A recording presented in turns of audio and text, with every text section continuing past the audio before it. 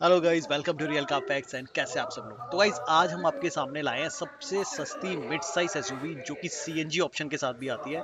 And जो CNG गाड़ियों में आपकी प्रॉब्लम होती है ना इस गाड़ी में वो सारी प्रॉब्लम आपकी दूर हो जाती है बिकॉज़ इसमें जो टेक्नोलॉजी यूज़ की गई है, वो इस कार को थोड़ा स्पेशल बनाती है। तो ये है पंच प्योर वेरिएंट यानी कि इस कार का बेस वेरिएंट तो आज की वीडियो में हम सब डिस्कस करेंगे इस कार के बारे में इस कार के प्राइसिंग क्या है, क्या स्पेसिफिकेशन इस कार में आती है, और कौन कौन से फीचर्स इस प्योर वेरियंट में ऑफ़र किए जाते हैं। सो so, बात करें इस कार की प्राइसिंग की तो ये कार आपको 7.9 लाख एक्स शोरूम कॉस्ट करती है दिल्ली में।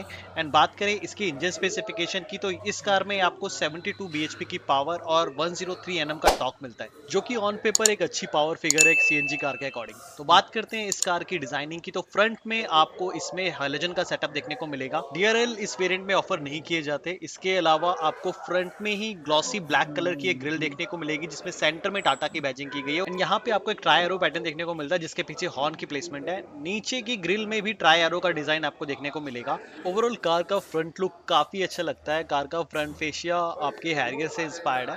तो फ्रंट लुक कार का काफ़ी अच्छा काफ़ी मस्कुलर कार लगती है देखने में। प्रॉपर एसयूवी वाला फील देती है कार आपको। अब चलते हैं कार की साइड प्रोफ़ाइल में, देखते हैं साइड प्रोफ़ाइल में आपको क्या ऑफ़र किया जाता है।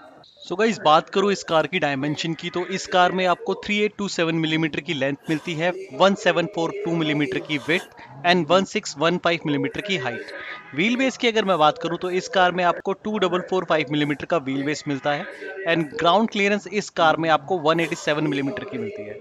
बात करें इस कार की टायर प्रोफ़ाइल की तो इस कार में आपको 185 बाई 70 आर 15 15 इंच के टायर्स आपको इसके प्योर वेरिएंट में भी मिल जाते हैं। मतलब बेस वेरिएंट से आपको 15 इंच के टायर्स दिए गए हैं जो कि एक अच्छी चीज़ है। And proper full body gliding आपको इसके बेस वेरिएंट से ही देखने को मिल जाती है। सो so गाइस कुछ इस तरीके से इसका साइड प्रोफ़ाइल लगता है। एंड इस कार में आपको टर्न इंडिकेटर ओवर बी में दिए गए हैं जो कि एक अच्छी चीज़ है। एंड आपको इसके डोर हैंडल भी ब्लैक कलर में मिलते हैं। Over B and door handle आपको ब्लैक कलर में ही इस पे देखने को मिलेगी। कोई रूफ रेल्स इस वेरिएंट में ऑफ़र नहीं की जाती।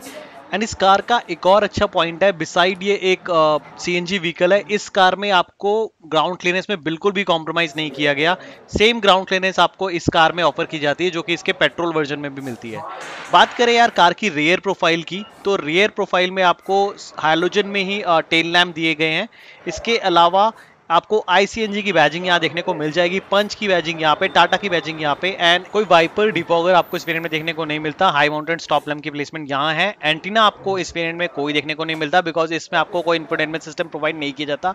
इसके अलावा बूट एक्सेस करने के लिए रिक्वेस्ट बटन आपको यहाँ पे दिया गया है। एंड इस कार में आपको मिलती है टू लीटर का बूट स्पेस भाई सी कार में अगर आपको बूट स्पेस चाहिए ना तो कोई भी कार आप इतना बूट स्पेस ऑफ़र नहीं करती। इसके अलावा दो हुक्स आपको इसके बूट में प्रोवाइड किए गए हैं, जो वन वन के की कैपेसिटी के हैं एंड इसमें आप अपना कोई भी सामान हैंग कर सकते हो।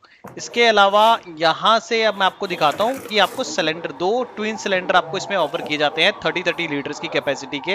एंड अगर आपको स्पेयर टायर एक्सेस करना है तो उसके लिए आपको एक स्क्रू यहाँ पे दिया गया है, जिसके थ्रू आप अपना स्पेयर टायर एक्सेस कर सकते हो और स्पेयर टायर की प्लेसमेंट आपको नीचे दी गई है। एंड इसके अलावा अगर आपको बूट स्पेस बढ़ाना हो तो आप इसकी सीट्स को सीधे फोल्ड कर सकते हो। बेंच स्टाइल इसकी सीट फोल्ड हो जाती है। एंड आपके पास काफ़ी ज़्यादा जगह बन जाती है उसके बाद और आप अपना इजीली सामान यहाँ पे एडजस्ट कर सकते हो। सो भाई सबसे पहले मैं आपको इसका फ्यूल लेड ओपन करके दिखाता हूँ और दिखाता हूँ कि आप सीएनजी कहाँ से रिफिल करा सकते हो। वैसे अगर सीएनजी की बात करूँ ना तो इस कार में बहुत सारे सेफ्टी फीचर्स भी आ रहे हैं। इस कार में आपको thermal incident protection leak detection जैसे बहुत सारे सेफ्टी फीचर्स मिलने वाले हैं। तो सेफ्टी में भी बिल्कुल कॉम्प्रोमाइज़ नहीं किया गया। सो भाई सी एन जी भी आपकी सेम जगह से रिफिल होती है।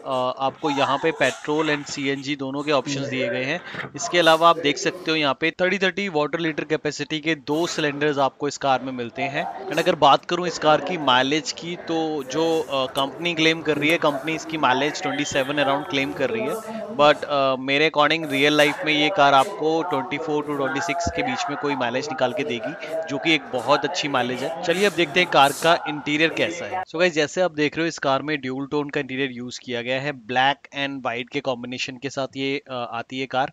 प्योर वेरिएंट में आपको ब्लैक एंड व्हाइट का कॉम्बिनेशन मिलता है एंड इससे ऊपर अगर आप वेरिएंट लोगे तो उसमें आपको कॉम्बिनेशन कुछ अलग मिलेगा। प्योर वेरिएंट में आपको इंफोटेनमेंट सिस्टम नहीं प्रोवाइड किया जाता। इसके अलावा एसी वेंट्स में इन्होंने पियानो ब्लैक कलर की फिनिशिंग यूज़ की है, जो काफ़ी अच्छी लग रही है। मैनुअल एसी का डिज़ाइन मैं पहले बता चुका हूँ टाटा का बहुत अच्छा है। नीचे आपको कुछ स्पेस मिल जाता है अपना सामान कैरी करने के लिए एंड इसके नीचे आपको गेयर की प्लेसमेंट देखने को मिलेगी। एंड यहाँ पे भी इन्होंने ये पियानो ब्लैक कलर का यूज़ किया गया है, जो काफ़ी अच्छा लग रहा है। इसके नीचे हैंड ब्रेक की प्लेसमेंट की गई है। यहाँ पे आपको एक सॉकेट दिया गया है। टॉप वेरिएंट में आपको यहाँ पे टाइप सी का सपोर्ट देखने को मिल जाता है। इसके अलावा दो कप होल्डर की प्लेसमेंट यहाँ की गई है। एंड सीट्स कंफर्ट की बात करूँ तो फ्रंट सीट काफ़ी कंफर्टेबल है। इसमें आपको थाई सपोर्ट भी काफ़ी अच्छा देखने को मिल जाता है कि फ्रंट सीट में। एडजस्टेबल हेडरेस्ट आपको इसके प्योर वेरिएंट से ही मिलने लग जाते हैं बेस वेरिएंट से ही फ्रंट सीट्स में। इसके अलावा मैनुअल आईआरवीएम आपको नहीं मिलता इस वेरिएंट पे। हाइलोजन रीडिंग लैंप आपको यहाँ दिया गया है। यहाँ पे एक माइक के प्लेसमेंट की गई है। ड्राइवर साइड कार्ड होल्डर आपको देखने को मिल जाएगा। इसके अलावा आपको को पैसेंजर साइड भी कोई वैनिटी नहीं मिलता इस वेरियंट के अंदर। काफ़ी सिंपल सोबर सा इंटीरियर रखा गया है इस कार का, जो हमेशा आपको देखने में अच्छा ही लगेगा। इसके अलावा बात करूँ स्टेयरिंग की तो फ्लैट बॉटम स्टेयरिंग आपको इस वेरिएंट में मिल जाता है। कोई भी कंट्रोल्स आपको स्टेयरिंग में देखने को नहीं मिलेंगे। सेंटर में टाटा का बैजिंग आ जाती है। इसके अलावा बेस वेरिएंट में आपको दो ही पावर विंडो देखने को मिलती है फ्रंट में। रेयर की पावर विंडोज़ आपको मैनुअल ही देखने को मिलती है तो मैनुअल ही आपको रेयर पावर विंडो आपकी ऑपरेट करनी पड़ेगी। चलते हैं बैक सीट में मैं आपको दिखाता हूँ बैक सीट का कंफर्ट कैसा है इस कार में सो गाइज़ रियर में आपको दो हेडरेस्ट मिलते हैं बट ये एडजस्टेबल एड्रेस नहीं है फिक्स एड्रेस आपको दिए गए हैं। अंदर बैठ के दिखाता हूँ मैं आपको कितना स्पेस है इस कार में। तो कहीं बात करें लेग रूम की तो लेग रूम सफिशियंट है। थाई सपोर्ट भी काफ़ी अच्छा है इसकी रियर सीट्स में। एंड अगर बात करूँ स्पेस की तो दो एडल्ट और एक बच्चा इजीली बैठ सकता है इस कार में। एंड जैसे मैंने आपको बताया था रियर में आपको पावर विंडो नहीं मिलते, आपको मैनुअली इसके विंडोज़ ऑपरेट करने पड़ेंगे रियर में। ट्विटर के लिए स्पेस आपको यहाँ मिल जाता है। इसके अलावा कुछ स्पीकर्स वगैरह नहीं मिलते बिकॉज़ इंफोटेनमेंट सिस्टम इस वेरियंट में नहीं आता। एंड बात करें हम की तो हम भी बिल्कुल ना के बराबर है इस कार में। बिल्कुल कम हम है तो इजीली बैठ सकता है। सेंटर में जो बैठेगा उसको ज़्यादा प्रॉब्लम नहीं होगी इस कार में। सो so, ओवरऑल काफ़ी अच्छा ऑप्शन बन जाता है ये कार अगर जो लोग सीएनजी में एक कार ढूंढ रहे हैं बिकॉज़ अच्छी ग्राउंड क्लियरेंस के साथ साथ आपको एक एस वाली फेल भी इस कार में आती है। तो कहीं अगर आप भी ये कार ऑप्ट करना चाहते हो तो कॉन्टैक्ट पर्सन की डिटेल्स में आपको डिस्क्रिप्शन में दे दूँगा आप उनसे कॉन्टैक्ट कर सकते हो। तो कहीं इस वीडियो में इतना ही। मैं मिलता हूँ आपसे नेक्स्ट वीडियो में। तब तक के लिए बाय